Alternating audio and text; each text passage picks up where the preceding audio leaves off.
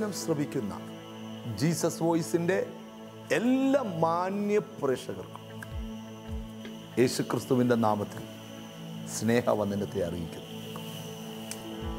ഇതൊരു വളരെ അനുഗ്രഹിക്കപ്പെട്ട ഒരു ദിവസമാണ്. നിങ്ങളുടെ ലൈഫിൽ എന്തൊക്കെയോ ദൈവം ചെയ്യാൻ ആഗ്രഹിക്കുന്ന ദിവസമാണ്. ഇരുപതാം സങ്കീർത്തനത്തിൽ വായിക്കുന്നു നിന്റെ ഹൃദയത്തിലെ ആഗ്രഹം അവൻ നിനക്ക് സാധിപ്പിച്ചു തരും. നിങ്ങൾ ആഗ്രഹിച്ചത് നിങ്ങൾ സ്വപ്നം കണ്ടത് നിങ്ങൾ പ്രാർത്ഥിച്ചത് കർത്താവ് നിങ്ങൾക്ക് തരും. ഇന്ന് ഈ വചനം നിങ്ങളുടെ കയ്യിൽ എത്തിക്കുവാൻ കാരണം ഒരു ഫാമിലിയാണ്.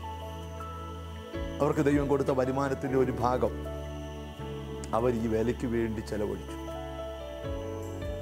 നിങ്ങളും ഈ വചനം കേൾക്കുമ്പോൾ അവർക്ക് വേണ്ടി പ്രാർത്ഥിക്കണം. നിങ്ങളെപ്പോലെ ജനലക്ഷങ്ങളുടെ പ്രാർത്ഥന ഇന്ന് അവർക്ക് കിട്ടും. അവരും അനുഗ്രഹിക്കപ്പെടും. നിങ്ങളും അനുഗ്രഹിക്കുന്നു നമുക്ക് വചനത്തിലേക്ക് കടക്കാം.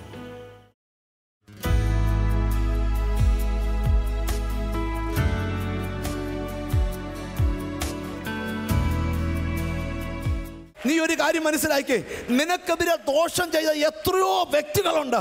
അവൻ എത്ര ആഭിചാരം ചെയ്തിട്ടും നിന്റെ വീട് മരണ വീടാകാത്തത് എന്താ? അമി ദൈവം നിന്നെ തെരഞ്ഞെടുത്തോണ്ട്. തെരഞ്ഞെടുക്കപ്പെട്ടവനെ പുറത്തെടുക്കാൻ ദൈവം റെഡിയാ വിശ്വാസമുള്ളവരെ ആമയും പറയോ.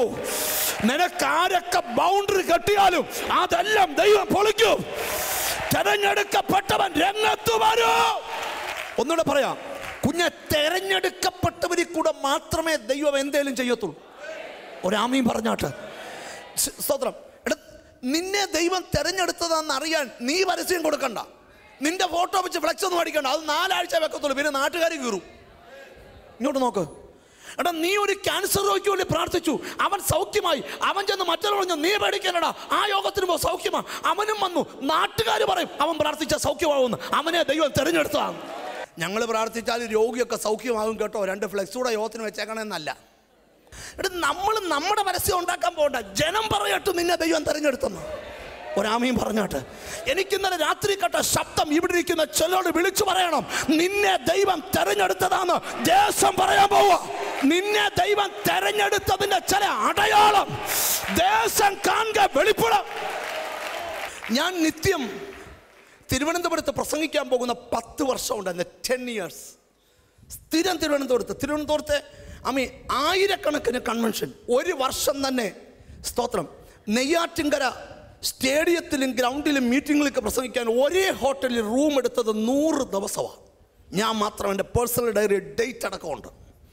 അതുപോലെ മീറ്റിംഗ് എന്ന് ട്രിവാൻഡ്രം ഏരിയയിൽ അന്ന് മാറിയുവാഞ്ചനസ് കോളേജിൽ പഠിക്കുന്ന ഒരു ചെറുപ്പക്കാരനെ ഞാൻ പരിചയപ്പെട്ടു. ഇന്നവൻ യു കെയിലാണ് ഭയങ്കര ആത്മീക ശക്തിയുള്ളൊരു ഒരു മകൻ. കണ്ട ഭയങ്കര സുന്ദരനാ. ജീസസ്. അവന്റെ പണി എന്നാണെന്നറിയോ ട്രിവാൻഡ്രത്ത് രണ്ട് മൂന്ന് സാത്താന്യ ആരാധനയുണ്ട് ഒരു പെങ്കൊച്ചൊരിക്കൽ അവളെ സ്നേഹിച്ചു വന്നവനെ ജീസസ്. അമ്മി കല്യാണം കഴിക്കാൻ ഇഷ്ടമാണെന്നൊക്കെ പറഞ്ഞ് അടുക്ക വന്നു. അടുക്ക വന്ന ദൈവാത്മാവ് പറഞ്ഞു എടാ നിന്നെ സ്നേഹം നടിച്ചു കൊണ്ടിരുന്ന സാത്താന്റെ ആരാധനയെ കൊണ്ടുപോകാനാ ജീസസ് ചുരുക്കി പറയാം. അമ്മി ഒരു ദിവസം എന്റെ അടുക്ക വന്നിട്ട് എന്നോട് അവൻ പറഞ്ഞു ബ്രദർ സാത്താന്യ ആരാധനയെ പോകുന്ന നാല് പേർ ഈ മാറിയുവാനസ് കോളേജിൽ ഉള്ളതായിട്ട് എനിക്കറിയാം. അവരെ നാല് പേരെയും എനിക്ക് പുറത്തു കൊണ്ടുവരണം. ഞാൻ ഇപ്പോൾ ഓർക്കുന്നു മഹേഷ് എന്ന് പറയുന്ന ഒരു ചെറുപ്പക്കാരൻ. കർത്താവിന് സ്വന്തം ഇവൻ മഹേഷുമായി കൂട്ടുപിടിച്ചു. സാത്താന്യ ആരാധനയിലേക്ക് പോകുന്ന വഴി പഠിച്ചു. മഹേഷ് അവിടുത്തെ സാത്താന്യ ആരാധനയുടെ ലീഡർഷിപ്പിൽ ഒരാളാണ് ജീസസ്. സാത്താന്യ ആരാധന. നിങ്ങൾ വിചാരിക്കുന്നതല്ല കോട്ടയം പട്ടണത്തിലും ഉണ്ട്. എറണാകുളത്തും ഉണ്ട്. തിരുവനന്തപുരത്തും ഉണ്ട്. സ്തോത്രം. മനസ്സിലായോ? കമി യൂത്ത്. ഏറ്റവും കൂടുതൽ യൂത്തിനെ തെറ്റിക്കുന്ന ഒന്നാണ് സാത്താന്യ ആരാധന. പിള്ളേർക്ക് ഇഷ്ടമാണ് അതിനകത്ത് മദ്യപിക്കാം ബിയർ കുടിക്കാം പാപം ചെയ്യാം. അതെല്ലാം സാത്താൻ ഇഷ്ടമാണെന്ന് അവർ ഘോഷിക്കുന്നു. ജീസസ് ബ്ലഡ് മുറിച്ച് രക്തം നാക്കെ കുടിച്ചോണ്ട് വേണം സാത്താന്യ ആരാധന കയറാൻ ജീസസ് എന്നാൽ ഈ മഹേഷ് എന്ന് പറയുന്ന ചെറുപ്പക്കാരൻ സാത്താന്യ ആരാധന ലീഡറായപ്പം ഈ യൗവനക്കാരനായ പയ്യൻ ചോദിച്ചു. അവന്റെ പേര് തോമസ് എന്നാ. തോമസ് ചോദിച്ചു തോമ മഹേഷേ ഈ ആരാധനയ്ക്ക് എന്നെ ഒന്ന് കൊണ്ടുപോകാമോ ജീസസ് മഹേഷ് സാത്താന്റെ ലീഡർ ചോദിച്ചത് പറഞ്ഞു അവനെ വിളിച്ചക്കല്ല. അവൻ തെരഞ്ഞെടുക്കപ്പെട്ടവനാ. അവൻ വന്നാ ഇത് പൊളിക്കും. എടാ സാത്താന്റെ ആരാധനയൊക്കെ എല്ലാരെയും വിളിക്കും. എന്നാൽ യു കെയിലുള്ള തോമസിനെ വിളിക്കത്തില്ല. എന്നാ വിളിക്കാത്തതിന്റെ രഹസ്യം പറയാം. ജീസസ് കോളേജിൽ പഠിക്കുന്ന സമയം. അപ്പം മഹേഷ് പറയുക കർത്താവ് തോമസിനെ ഇങ്ങോട്ട് കൊണ്ടുവരുന്ന ലീഡർ. വന്ന അവൻ പൊളിക്കുമെന്ന്. എന്നാ കാര്യം? അവൻ തെരഞ്ഞെടുക്കപ്പെട്ടവനാ. ഒരാമീൻ പറഞ്ഞാട്ട് മഹേഷ് ഒന്നിച്ചൊരു ടൂറ് പോയി. ടൂറിനകത്ത് ഒന്നിച്ച് ഒരേ ബെഡ് ഒരേ ഒരേ ഹോട്ടലിനകത്ത് താമസിച്ചു. രാത്രി മഹേഷിനെ കെട്ടിപ്പിടിച്ചുറങ്ങി. രാവിലെ മഹേഷ് തോമസിനോട് ചോദിച്ചു ഞായറാഴ്ച നിന്റെ ആരാധനയ്ക്ക് ഞാനും വരുന്നുണ്ടെന്നു. അവൻ പുറത്തു വന്ന് സാത്താന്റെ ആരാധനയുടെ രഹസ്യങ്ങൾ അങ്ങോട്ട് അഴിക്കാൻ തുടങ്ങി. ഞാൻ വിശ്വസിച്ചാൽ നിന്നോടൊരു ദൂത് വിളിച്ചു പറയാം സ്തോത്രം. ശ്രദ്ധികളെ തെരഞ്ഞെടുക്കപ്പെട്ടവനെ ദൈവം കയ്യിലെടുക്കുന്ന ദിവസങ്ങളുണ്ട്. വിശ്വസിക്കാൻ കൃപ ലഭിച്ചവർക്കായി സ്തോത്രം ചെയ്യുക. ഇന്ന് പകൽ പ്രവചന ദൂതെന്ന് പറയാം ദൈവം നിന്നെ കയ്യിലെടുക്കുക. ഇനി മുദ്രമോതിരം എന്ന പദത്തെ ഒന്ന് തൊട്ടോട്ടെ. മുദ്രമോതിരം എന്ന് പറയുന്ന അമ്മ പദത്തെ ഒന്ന് തൊട്ടോട്ടെ. ഇവിടെ യോസഫ് എന്ന് പറയുന്ന ഒരുത്തൻ മനഞ്ഞു വന്ന്. കാരാഗ്രഹത്തിൽ തന്നെ ചങ്ങലകളാൽ ബന്ധിക്കപ്പെട്ട് കിടക്കുക. യോസഫ്. പുള്ളി ഭയങ്കര സങ്കടപ്പെടുക പാനപാത്രമാകാൻ എന്നാലും എന്നെ ഓർത്തില്ല. കരയുക കർത്താവ് മേളി എന്ന് പറയാ എന്റെ യോസഫെ കരയാതടാ. രാവിലെ മുതൽ രാജാവിന്റെ രാജമോതിരത്തിനൊരു ഇളക്കം. എന്നാ അത് കയ്യേന്ന് പോകാറായി. എവിടെ വീഴാറായി? യോസഫിന്റെ കയ്യെ വീഴാറായി. ചിലപ്പോൾ കണ്ടു ചിലരൊക്കെ മോതിരം ഇങ്ങനെ ഇളക്കിയിടുന്ന കാണത്തില്ലേ? പിന്നെ രാജാവിന്റെ കയ്യെ കിടന്ന മോതിരത്തിനൊരു ഇളക്കം. എന്റെ കാര്യം അത് മറ്റൊരാടെ വിരളെ പോകാൻ നേരമായി. യോസഫ് കരഞ്ഞുകൊണ്ട് കിടക്കുമ്പോൾ രാജകൊട്ടാരത്തിലെ രാജാവിന്റെ കയ്യിലെ മോതിരം ഇളകി ആടാൻ തുടങ്ങി. ഇന്ന് പകൽ ഞാനൊരു ദൂത് പറയാം നീ ബിഗ് സീറോയിൽ കിടക്കുമ്പോഴും തെരഞ്ഞെടുപ്പിന്റെ ലക്ഷ്യം മറ്റൊരിടത്ത് ചലിച്ചുകൊണ്ടിരിക്കുക വിശ്വസിക്കുന്നവർക്കായി ദൈവത്തിന് സ്തോത്രം ചെയ്യുക. ആരാധിക്കുന്ന ചിലരോട് ദൈവാത്മ പറയുന്നു ഇത് തകർക്കുന്ന ദിവസമല്ല ഇത് അനുഗ്രഹിക്കുന്ന ദിവസമാണ്. നിങ്ങൾക്കറിയോ ഇന്നത്തെ ദിവസം ദൈവം നിന്നെ തെരഞ്ഞെടുത്തതിന്റെ ലക്ഷ്യം പൂർത്തീകരിക്കുന്ന ദിവസമാണ്. എത്ര പേർക്ക് വിശ്വാസമുണ്ട്? എത്ര പേർക്ക് വിശ്വാസമുണ്ട്? നിങ്ങൾ ഒരു കാര്യം വിശ്വസിക്കുന്നോ ഇതിനല്ല ദൈവം എന്നെ തെരഞ്ഞെടുത്തേ. എന്തോ ഒരു കാര്യത്തിന്റെ തുടക്കം എന്റെ മേൽ വെളിപ്പെടാൻ പോകുകയാ. ദൈവാത്മാവ് എന്നോട് പറയുന്നു അമ്മ ചിലരെ ദൈവം കയ്യിലെടുക്കാൻ പോകുകയാ. ഇതുവരെ ലോകത്തിൽ ആരെ ഉപയോഗിച്ചിട്ടില്ലാത്ത പോലെ എന്റെ യേശു നിന്നെ കയ്യിലെടുക്കാൻ പോകയാ നടക്കത്തില്ലെന്ന് വിധി പറഞ്ഞ രാജ്യത്ത് അമി നടക്കത്തില്ലെന്ന് വിധി പറഞ്ഞ പട്ടണത്തിൽ നിന്നെ കയ്യിലെടുത്ത് ദൈവം ഉപയോഗിക്കാൻ പോകയാ നിങ്ങൾക്ക് താല്പര്യമുണ്ട് ദൈവകരങ്ങളിൽ ഒന്ന് ഉപയോഗിക്കപ്പെടണമെന്ന്? താല്പര്യമുണ്ട് ദൈവകരങ്ങളിലൊന്ന് ഉപയോഗിക്കപ്പെടണമെന്ന്? എടാ തെരഞ്ഞെടുത്ത നിന്നെ നിനക്ക് വിശ്വസിക്കാൻ പറ്റാത്ത രാജ്യത്ത് പട്ടണക്കാരുടെ നടുവിൽ ദൈവം ഉപയോഗിക്കും. എന്നോട് ദൈവാത്മ പറയാം ചിലരുടെ തെരഞ്ഞെടുപ്പ് പൂർത്തിയാകാൻ രാജ്യങ്ങളുടെ ഡോറുകൾ ദൈവം തുറക്കുക. ചിലരുടെ തെരഞ്ഞെടുപ്പ് പൂർത്തിയാകാൻ പട്ടണങ്ങളുടെ ഡോറുകൾ ദൈവം തുറക്കുക. നിന്നെ ഇത് കേൾപ്പിക്കാനോ. നിനക്കറിയാമോ ഈ ചില സമയത്ത് ശക്തമായ മടുപ്പ് ഹൃദയത്തിൽ വരാറുണ്ട്. ചില സമയത്ത് ശക്തമായ എതിരികൾ ജീവിതത്തിൽ വരാറുണ്ട്. ഇനിയും പ്രാർത്ഥിക്കുക പോലും വേണ്ടെന്ന് ചിന്തിക്കുന്ന സാഹചര്യം വരാറുണ്ട് അത് വരുമ്പോൾ മടുക്കരുത്. കാരണം എന്തോ ഒരു അനുഗ്രഹം മുമ്പിൽ വരാൻ പോവാ. ശക്തമായ നിരാശ നിന്റെ അകത്ത് കൊണ്ടിടുന്നത്. നീ ആ നന്മയിലേക്ക് കയറാതിരിക്കാനാ. എന്നോട് ദൈവം പറയാ ഈ യോഹന്നാൻ പതിനഞ്ചിന്റെ പതിനാറ് വാക്യമുണ്ട്. കാണാതെ പറയാവുന്ന വാക്യം അങ്ങനെ ഐ മീൻ നിങ്ങൾ എന്നെ ആ ഞാൻ നിങ്ങളെ എന്തിന്? എവിടെ? പദം.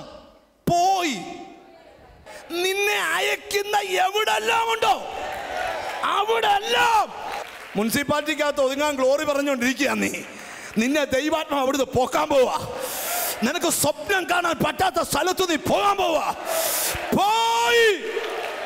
അതൊക്കെ പല്ലി ഒഴിഞ്ഞ ഒരു അപ്പച്ചനും അമ്മച്ചിയും. ഞാൻ ഓസ്ട്രേലിയക്ക് പോയ ഫ്ലൈറ്റിലുണ്ടായിരുന്നു പ്രായമുള്ളവരായതുകൊണ്ട് എന്റെ സീറ്റ് കിട്ടിയപ്പം അപ്പച്ചൻ അങ്ങേപ്പുറത്തും ഞാൻ നടുക്കും അമ്മച്ചി ഇപ്പുറത്തുമായി. അച്ഛൻ എന്നോട് ചോദിച്ചു ഞങ്ങളൊന്ന് അടുത്തിരുന്നോട്ടെ? ഞാൻ പറഞ്ഞു അടുത്തിരുന്നു. ഞാൻ ഇപ്പുറത്തെ സീറ്റിലിരുന്നു. കുറച്ചു നേരം കഴിയുമ്പോൾ അപ്പച്ചൻ വർത്താനം പറയാൻ തുടങ്ങി.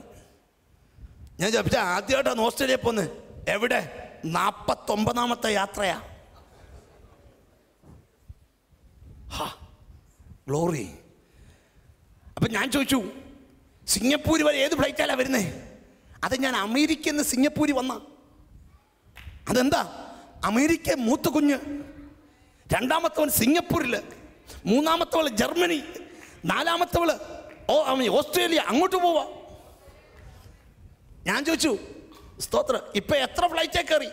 ഒരു ഡയറി അങ്ങോട്ട് തുറന്നു. ഒരു ഡയറി ഫുള്ള് കയറിയ ഫ്ലൈറ്റുകളെ ലിസ്റ്റ് തീർന്നു. രണ്ടാമത്തെ ഡയറി എഴുതുക. എന്നാ?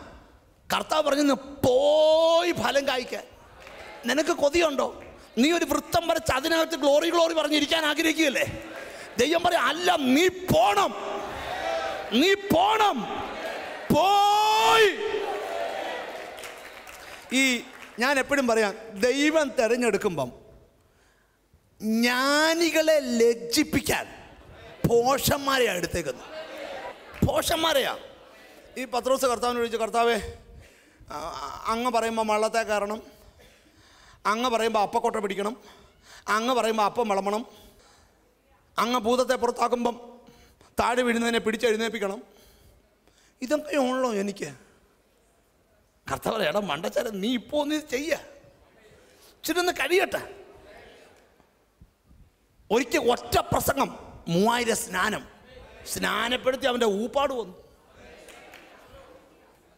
ആ രണ്ടുപേരെ പെടുത്താൻ ഇഷ്ടമാണ് ഗ്ലോറി. ഞാനൊരിക്കൽ നോർത്ത് ഇന്ത്യയിൽ ഒരു സ്ഥലത്ത് പോയി. അപ്പോഴറിഞ്ഞ സ്നാനത്തിന് എഴുപത്തിനാല് പേരുണ്ട്. ഫ്രീസറിലെ വെള്ളത്തിലാ സ്നാനം. രണ്ടെണ്ണത്തെ മുക്കി കഴിഞ്ഞപ്പോൾ എന്റെ ഉള്ള ആരോഗ്യം പോയി. പിന്നെ മുളവടിക്കകത്ത് കട്ടൻ കാപ്പി അങ്ങോട്ട് തന്നു. കാപ്പി ഇട്ടവരുടെ ഊപ്പാട് വന്നു. സ്നാനപ്പെടുത്തുക. ഒന്നോ രണ്ടോ പേരല്ല മൂവായിരം എണ്ണം അങ്ങോട്ട് നിന്ന് സ്നാനപ്പെടുത്തി. അങ്ങോട്ട് കയറി നടന്നു പോകുമ്പോൾ വിരിപ്പിൽ കിടക്കുന്ന രോഗിക്ക് സൗഖ്യം. എടാ തെരഞ്ഞെടുപ്പത്തവൻ നീ ഓർത്ത് ഒന്നിനും കൊള്ളത്തില്ലെന്ന്. കയ്യിലെടുക്കുന്നത് വേറെയാണ്. പ്രവചനം പോലെ വിളിച്ചു പറയാൻ ചിലരെ എന്റെ ദൈവം കയ്യിലെടുക്കാൻ പോകുന്നു. വിശ്വാസം ഉണ്ടോ നിനക്ക്? നീ ഒന്ന് പ്രാർത്ഥിയില്ല നിന്റെ കുഞ്ഞിനെ ആ മൂത്തവൻ ബെഫിനെ കർത്താവ് ഒന്ന് കയ്യിലെടുക്കട്ടെ. നിന്റെ വിദ്യാഭ്യാസം ഒന്നും അല്ല നിന്നെ വലുതാക്കുന്നേ. ഒരാമയും പറഞ്ഞോട്ടെ. നിന്റെ കഴിവല്ല ദൈവം പണ്ട് ഞാനൊരു കപ്പിയാറുടെ കഥ പറഞ്ഞ ഓർമ്മയുണ്ടോ? സാക്ഷരത കൊണ്ടുവന്ന എല്ലായിടത്തും. ഇങ്ങോട്ട് നോക്കാം. അപ്പം സാക്ഷരത കൊണ്ടുവന്നപ്പം എല്ലാ അക്ഷരം പഠിക്കണം. അവിടെ ഒരു ഗ്രാമത്തിലാണ് അവിടെ ഒരു ദേവാലയമുണ്ട്. ദേവാലയത്തിൽ അച്ഛനോട് ചേർന്ന് നിൽക്കുന്ന ഒരാളുണ്ട്. ആ കൊച്ചു പള്ളി അന്നേരം മൂന്ന് പേരോട് ചേർന്ന് നിൽക്കുന്നത് മറ്റവരെല്ലാം സാക്ഷരത നേടി. ഒരാൾ മാത്രം സാക്ഷരത നേടിയില്ല. അച്ഛൻ പറഞ്ഞു അഞ്ഞൂറ് രൂപ ശമ്പളം. അച്ഛൻ ഉപദേശിച്ചതാ. അക്ഷരം പഠിച്ചില്ലെങ്കിൽ ശമ്പളമില്ലെന്ന് പറഞ്ഞു. അങ്ങനെ അച്ഛൻ അക്ഷരം പഠിക്കാൻ വേണ്ടി വിട്ടാ. ഒരു മാസം ശമ്പളം കൊടുത്തില്ല. പള്ളിയിൽ ശുശ്രൂഷയില്ല. ഇങ്ങോട്ട് നമുക്ക് പറയാം.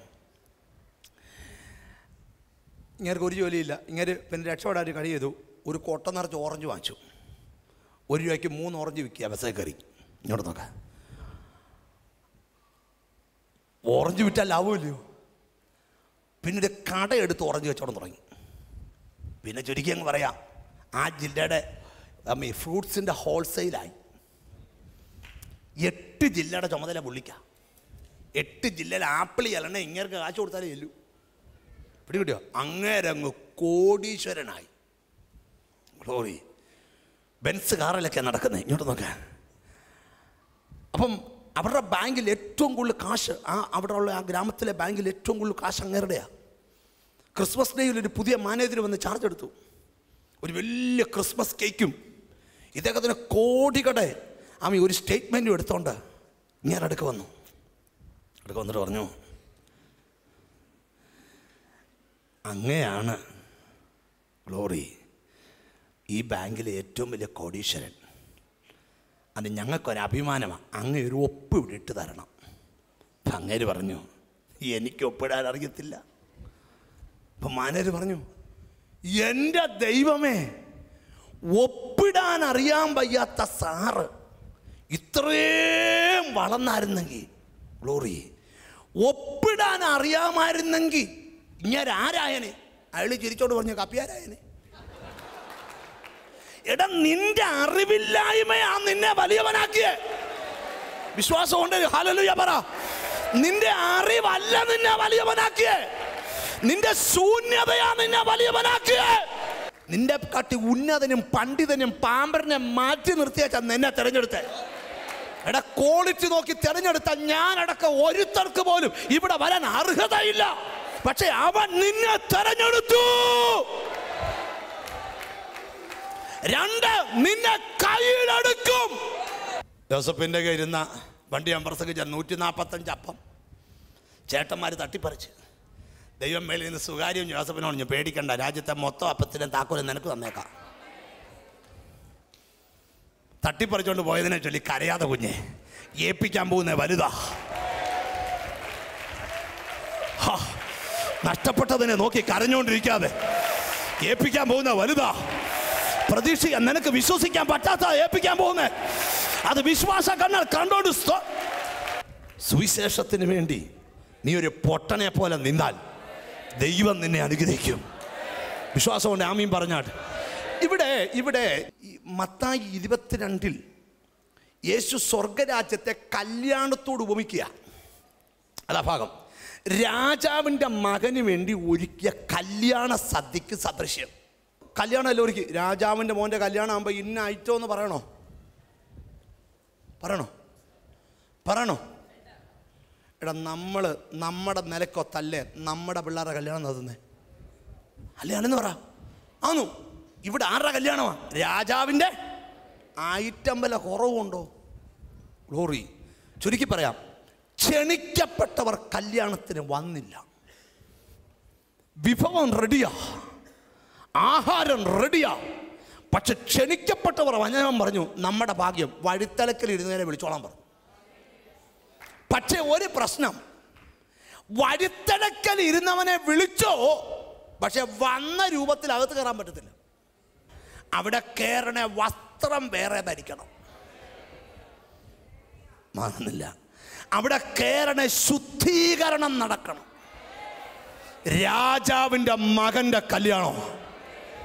ഒരാമീൻ പറഞ്ഞാട്ട അതിന് കയറണമെങ്കിൽ വസ്ത്രം മാറണം. അതിന്റെ കാരണം ഈ കല്യാണത്തിനൊക്കെ രാജാവ് ഈ കല്യാണത്തിന് വിരുന്നിന് വിളിച്ചവരെ നോക്കാൻ വന്നു. അങ്ങനെ ആണല്ലേ നമ്മുടെ മക്കളുടെ കല്യാണത്തിനിടെ നമ്മൾ ഇറങ്ങി നടക്കത്തില്ലയോ? അങ്ങനെ നോക്കി വന്ന കൂട്ടത്തിലെ വിളിച്ച ദിവസം തന്നെ വിളിച്ച ഷെയ്പ്പിൽ തന്നെ ഒരു പുളിയകത്ത് കയറിയിരിക്കുന്നു. ഈ വിളി വിളിയാകുന്നത് എപ്പോഴാ? വിളി കേട്ട് ഇറങ്ങുമ്പോഴാ വിളി വിളിയാകും എനിക്ക് വിളിയുണ്ട് കേട്ടോ. നിൽക്കുന്നിടത്ത് തന്നെ വിളിക്കുക ഒരണക്കവും ഇല്ല. ജീവിതത്തിൽ രക്ഷപ്പെടത്തില്ല. വിളി കേട്ടവൻ വിളിക്കൊത്ത് ഇറങ്ങണം. സക്കായിയെ വേഗം ഇറങ്ങി വന്ന് വിളിച്ചപ്പം മരത്തിലിടയിൽ ബൈ ബൈ സി യു അങ്ങനല്ല. ഇറങ്ങി അവിടുന്ന് താഴെ. ഒരാമയും പറഞ്ഞാട്ട്. എന്താ കാര്യം വിളിക്കൊത്ത് അബ്രഹാമിനോട് പറഞ്ഞു ഞാൻ നിന്നെ കാണിപ്പണി ദേശത്തേക്ക് പോകാം വിട്ടച്ചിറങ്ങി വിളിയുടെ വെളിപ്പാട് വെളിപ്പെടണമെങ്കിൽ വിളി കേട്ടവൻ ഇറങ്ങണം. അപ്പം കർത്താവിന് സ്വത്രം അവിടെ ചെന്നപ്പോൾ ഈ കല്യാണ വസ്ത്രം ആ ഇരുപത്തിരണ്ടാം അധ്യായം നേരത്തെ പതിനൊന്നാം വാക്യം എന്തോന്ന് വായിച്ചേ. വിരുന്നുകാരെ നോക്കുവാൻ രാജാവ് അകത്ത് വന്നപ്പോൾ. കല്യാണ വസ്ത്രം ധരിക്കാത്ത ഒരു മനുഷ്യനെ കണ്ടു. മനുഷ്യനെ അവിടെ കണ്ടു. സ്നേഹിത നീ കല്യാണ വസ്ത്രമില്ലാതെ ഇവിടെ അകത്ത് വന്നത് എങ്ങനെയെന്ന് ചോദിച്ചു. എന്നാൽ അവന് വാക്ക് മുട്ടിപ്പോയി. ആ പ്രശ്നമുണ്ട്. ചോദ്യം ചോദിക്കുമ്പോൾ അന്ന് മുട്ടിപ്പോവും വാക്ക്. അതിനാ ഇപ്പോഴേ ദൂത് പറയുന്നേ. യാക്കോവ് ഭയങ്കര മിടുക്കനായിരുന്നേ. അവൻ പെട്ടി കുത്തി തുറന്ന് അഭിനയം നടത്തി യേശാവാന്ന് പറഞ്ഞ് സ്വരം മാറ്റി അനുഗ്രഹം പ്രാപിച്ചു. യാബോക്കടവിന്റെ തീരത്ത് കൊണ്ടുവച്ച് നിന്റെ പേര് ചോദിച്ചു ദൈവം. എന്താടാ പേര്? യാക്കോബ് സമ്മതിച്ചിട്ട് അനുഗ്രഹിച്ച് ഇപ്പം നിന്നൊക്കെ വിളിയുണ്ട് പക്ഷെ ഈ ഷേപ്പിൽ അകത്ത് കയറാൻ പറ്റത്തില്ല. ഒരാമ്യം വരുന്നില്ല. വസ്ത്രം മാറണം. ശുദ്ധീകരണം നടക്കണം. ആ മെയിൻ രണ്ട് വസ്ത്രം മാറണം. നീ പോകുന്നത് കല്യാണശാലയാ വിരുന്നുശാലയാ. വസ്ത്രം മാറണം. അകത്ത് കയറി അടുത്ത വാക്യം കൊണ്ട് ശ്രദ്ധിച്ചേ. ആ. രാജാവ് ശുശ്രൂഷക്കാരോട് ഇവനെ കയ്യും കാലും കെട്ടി ഏറ്റവും പുറത്തുള്ള ഇരുട്ടിൽ തള്ളിക്കളവി ഇനി ഇവനെ മൂന്ന് ദിവസം ആരാധിപ്പിച്ച് സഭയ്ക്ക് യോഗ്യനാക്കിയ മകനാക്കി മാറ്റാം എന്നല്ല. അവനെ കയ്യും കാലും കെട്ടി പുറത്തുള്ള ഇരുട്ടിലേക്ക് തട്ടിയത് അവിടെ അവിടെ കരച്ചിലും പല്ലുകടി ഉണ്ടാവുമെന്ന് പറഞ്ഞു. അവിടെ കരച്ചിലും ഈ നരകം പല സെല്ല. അതിനകത്ത് ഒരു സെല്ല കരച്ചിലും ആ കൈയടിച്ച് പാട്ട് പാടുന്നുകൊണ്ടിരിക്കും കുറച്ച് നേരം ഇങ്ങനെ കരയും പിന്നെ പല്ല് കടിക്കും. ദുഷ്ടൻ പല്ല് കടിച്ച് ഉരി പോകുന്ന കരച്ചിലും ഈ യശയ്യാവിലെ ആഡംബരപ്രേമികൾക്ക് ഒരു സെല്ലുണ്ട്. അവിടെ ആ സെല്ലിനകത്ത് എല്ലാവരും കൂടെ പിടിച്ച് ലാറ്റിൽ നിന്ന് മീൻ പിടിക്കുന്നതിന് മൊത്തത്തിനും കൂടെ പിടിച്ച് ഒരത്തിടുമെന്ന് ചിന്തിക്കരുത്. ഓരോരുത്തർക്ക് ഓരോ സെല്ലാണ് നരകത്തിൽ ഒരു സ്ഥലം എന്ന് പറഞ്ഞാൽ ഇരുട്ടുള്ള സ്ഥലം. മറ്റിടത്ത് വേറൊരു സെല്ല് അമ്മി യശയ്യാ പ്രവണത്തിലുണ്ട്. നിന്റെ കീഴെ പുഴുക്കളെ വിരിക്കും. ഒരു പതിനായിരം പുഴുവിനെ പിടിച്ച് കൊരുത്തിടും ഡള്ളപ്പിന്റെ മെത്ത ഒലിക്കും അങ്ങോട്ട് ഇട്ടാൽ ഒന്ന് എട്ട് വട്ടം പൊങ്ങിത്താഴും ബ്രദറെ പുതപ്പില്ല. പുതപ്പ് തരാം. കൃമി പുതപ്പ് യൂറോപ്യൻ സെറ്റപ്പ് വേണ്ട കാണാത്ത. പണ്ടൊരു പ്രസംഗം പ്രസംഗിച്ചു. യോഗത്തിൽ നിന്ന് കോട്ടുവാ വിടുന്ന പോലെ വല്ല നീ കോട്ടുവാ വിട്ടാൽ ഇടിയപ്പത്തിന്റെ പീര പോകുന്ന പോലെ വായിലോട്ട് അങ്ങ് പോകും പിന്നെ വേറൊരു സ്ഥലം തീ കൊണ്ട് ഉപ്പിടുന്ന സ്ഥലം. പിന്നെ വേറൊരു സ്ഥലം കൂരിരുട്ടുള്ള സ്ഥലം. ആ അല്ലാതെ എല്ലാവരും കൂടെ അങ്ങോട്ട് ചെല്ലുമ്പം ഏതായാലും സ്വർഗത്തിൽ പോയില്ലോ എന്നാ ഗ്ലോറി നരകത്തിലോട്ട് പൊക്കോ? അങ്ങനല്ല. മനസ്സിലായി? ഓരോരുത്തരെ തരം തിരിച്ച വിടും. അങ്ങോട്ട് പോയാൽ പിന്നെ യശയ്യാവിലുണ്ട് സ്വർഗത്തിൽ കിടക്കുന്ന നിനക്ക് അവിടെ ചെന്ന് പോയി കാണാൻ അന്ന് നിനക്ക് ഇവനെ കാണുമ്പോൾ അറപ്പാവുമെന്ന് അതിനാ കുഞ്ഞെ ആ പഴയ ഉടുപ്പ് ഊരാൻ പറഞ്ഞ്. കാരണം കല്യാണ വസ്ത്രമാ ഈ കല്യാണ വസ്ത്രമുള്ളവന് മാത്രമേ തെരഞ്ഞെടുക്കപ്പെട്ടവൻ അകത്തു കയറാൻ പറ്റൂ. ഇന്നലെ രാത്രി ദൈവത്തിൽ നിന്ന് എനിക്ക് മെസ്സേജ് കിട്ടി. നിന്നെ നിന്ദിച്ചവന്റെ മുമ്പിൽ ദൈവം നിന്നെ കയ്യിലെടുക്കും. നിനക്കെതിരെ ദോഷം ചെയ്ത മുമ്പിൽ ദൈവം നിന്നെ കയ്യിലെടുക്കും. പട്ടണം കാണുക. അവന്റെ കൈ നിന്നെ ഉയർത്തിപ്പിടിക്കും.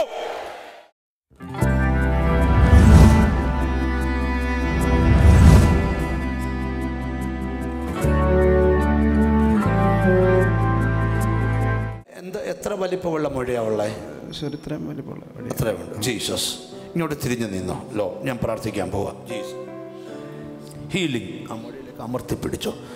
ജീസസ് ആ മുഴ മാറിപ്പോകട്ടെ. ഇനി കൈയെടുത്തോ. യേശുവിൻ അധികാരമുള്ള നാമത്തിൽ. ഓ ഇവന്റെ ആ മുഴ.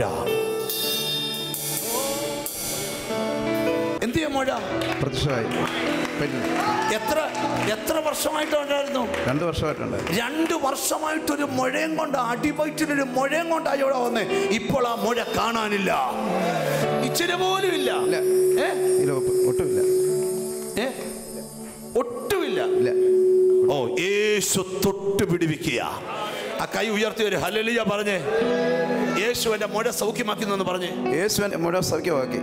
അമ്മ രണ്ട് വർഷമായി ഇവൻ അനുഭവിച്ച മുഴ യേശു സൗഖ്യമാക്കി കൊടുത്തു. ഞങ്ങൾ ശുശ്രൂഷിച്ച ശുശ്രൂഷ. നിങ്ങൾക്ക് അനുഗ്രഹമായി എന്ന് ഞങ്ങൾ വിശ്വസിക്കട്ടെ. ഞാൻ നിങ്ങൾക്ക് വേണ്ടി ഒന്ന് പ്രാർത്ഥിക്കാൻ ആഗ്രഹിക്കും നിങ്ങൾ രണ്ട് കൈകളും നെയ്യോട് ചേർത്ത് വിളിച്ച് ഞാൻ പ്രാർത്ഥിക്കുന്നു. ലവ് യു ഫാദർ ഞങ്ങളെ സ്നേഹിക്കുന്ന യേശുവെ ഈ വചനം കേട്ടുകൊണ്ടിരുന്ന അങ്ങയുടെ മക്കളെ അങ്ങ് കാണുന്നുണ്ട് സ്തോത്രം. ചില ദിവസങ്ങളായി അവർ കടന്നുപോയിക്കൊണ്ടിരിക്കുന്ന ആ പ്രശ്നത്തെ എന്റെ ദൈവം എടുത്തു മാറ്റണം. അവരുടെ ഹൃദയത്തിലെ ആഗ്രഹം എന്റെ കർത്താവർക്ക് സാധിപ്പിച്ചു കൊടുക്കണം. മാറയിലെ വെള്ളത്തിന്റെ കയ്പ് മാറ്റുന്ന പോലെ അവരുടെ കയ്പിനെ ദൈവം മാറ്റണം. അവരുടെ രോഗങ്ങൾ സൗഖ്യമാകട്ടെ അവരുടെ കടഭാരങ്ങൾ മാറട്ടെ. ലോഡ് യേശുവിന്റെ നാമത്തിൽ അവർ വിടുവിക്കപ്പെടട്ടെ. ഈ വചനം അവരുടെ വീട്ടിൽ മുഴങ്ങിയപ്പോൾ അവരുടെ വീട്ടിലെ ഇരുട്ടെല്ലാം മാറി. വെളിച്ചമായതുകൊണ്ട് സ്തോത്രം. യേശു ക്രിസ്തുവിൻ നാമത്തിൽ തന്നെ.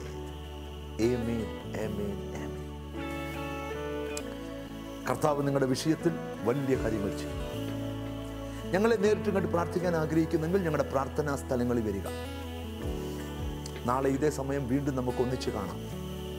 God bless you